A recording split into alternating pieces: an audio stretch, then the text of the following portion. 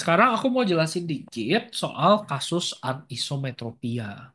Nah, kalau tadi miopia, hiperopia, astigmat itu diagnosis monokular, satu mata, anisometropia itu diagnosis binokular.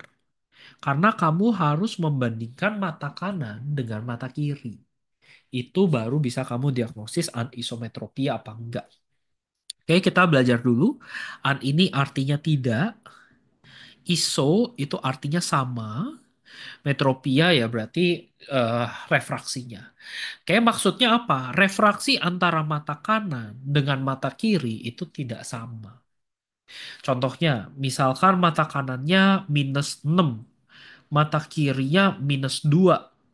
Ini anisometropia nggak? Jelas lah anisometropia. Satunya miopia berat, yang satunya miopia ringan.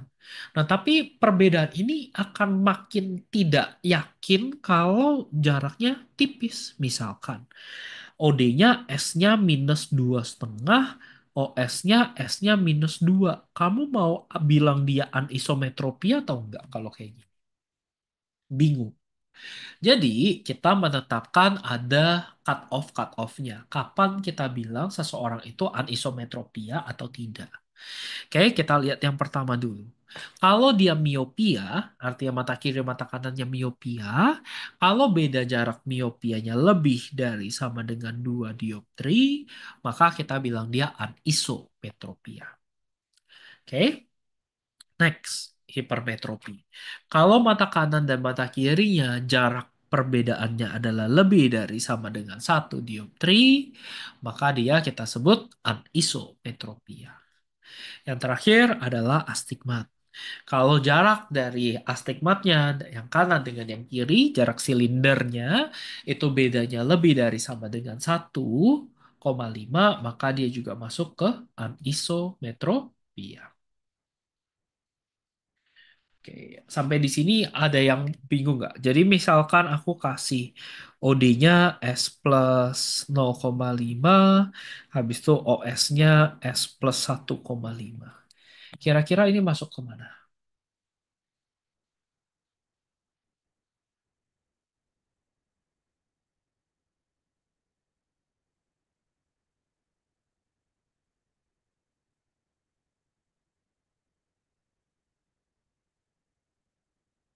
Anisometropia, bagus ya. Termasuk anisometropia, nggak usah dijabarin. Dia anisometropianya yang mana nggak usah. Ya, yang penting kamu sebut aja, dia anisometropia. Paham ya sampai di sini? Jadi anisometropia pure membandingkan mata kiri dengan mata kanannya gimana. Oke? Nah, kita bisa koreksi uh, anisometropianya. Nah, sebelumnya aku mau kenalin kamu dengan istilah namanya aniseikonia. Nanti kita juga akan bahas ada penyakit yang namanya amblyopia ini beda. Nah, pertama kita sebut dulu si aniseikonia ini apa sih? Aniseikonia ini adalah perbedaan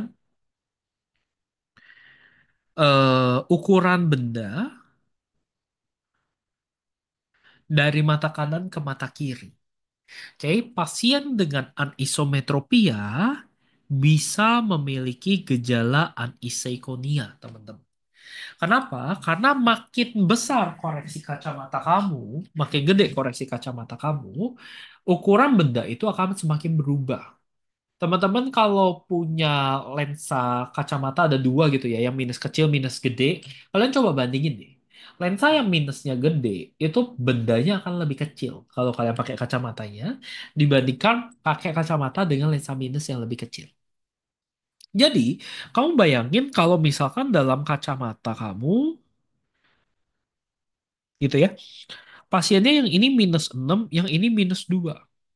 Ukuran benda yang di sini akan mini, ukuran kecil.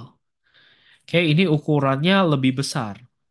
Jadi otaknya akan pusing. Gambarnya sih tajam ya. Tapi karena satu mata lihatnya ukuran lebih kecil, satu mata lihatnya ukuran lebih besar, pusing pasiennya. Sehingga ini akan menyebabkan problem uh, yang namanya aniseikonia. perbedaan ukuran benda. Anisometropia bisa menyebabkan aniseikonia. Biasanya kalau perbedaan dioptri udah lebih dari tiga, lebih dari tiga dioptri itu udah pusing otak tuh. Oke, kenapa sih dok bisa terjadi aniseikonia ini? Kenapa kalau pakai kacamata ukuran kacamata makin gede, ukuran benda makin berubah. Karena kalau kamu pakai kacamata, ada jarak dari kacamatanya ke kornea kamu. Kamu kalau yang pakai kacamata boleh coba lepas kacamatanya, kalian coba jauhin deh. Oke? Jauhin, deketin, jauhin, deketin. Kalian akan lihat kalau kalian minus ya. Ketika kalian deketin ke mata kalian, benda yang ada di depan lensanya itu akan makin gede. Oke, semakin kalian jauhin dari lensa matanya, bendanya yang ada di depan kacamata kamu akan makin kecil. Oke, makin dekat lensa koreksi ke mata, ke kornea kalian, makin sama ukurannya dengan ukuran benda aslinya. Makin jauh kamu pakai kacamatanya, makin ada efek magnifikasi atau efek shrinking, mengecilnya. Kenapa aku cerita ini? Karena orang yang pakai kacamata pasti ada jarak dari mata ke kacanya. Kan nggak mungkin kacanya nempel di kornea, bener nggak? Jadi solusinya gimana dok? Kalau ada pasien aniseikonia, ada dua cara kita terapinya. Yang pertama, skip kacamata sama sekali, kita kasih dia lensa kontak.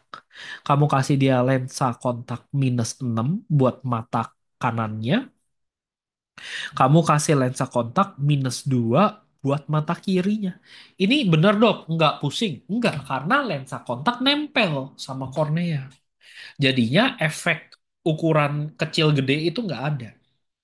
Itu cara pertama. Cara kedua adalah kamu kasih lensa kontak mata kanannya, misalnya ini ya, minus 6 sama minus 2 ya. Lensa kontak mata kanan kamu kasih minus 4. OS tidak pakai lensa kontak. Habis itu kacamatanya kamu buat minus 2, minus 2. Kayak gitu. Ini pusing nggak dok kalau kayak gini? Nggak pusing. Karena panjang kacamatanya sama nih. Ukuran dari kacamatanya sama, lensa kontak kan nempel kornea. Nggak ada efek ke ukuran benda. Ini pernah keluar di soal TO, teman-teman. Ya, gimana cara kita mengkoreksi aniseikonia? Ya, ada caranya seperti ini. Paham ya, tapi ya, aku mau ngingetin sekali lagi, anisometropia itu perbedaan antara sferis atau silindris dari mata kanan dan mata kiri. Nggak ngomongin ukuran. Ya, aniseikonia itu ngomongin perbedaan ukuran benda. Oke, ambliopia beda lagi. Nanti kita bahas secara terpisah. Itu ya. Sampai di sini untuk anisometropia ada yang bingung?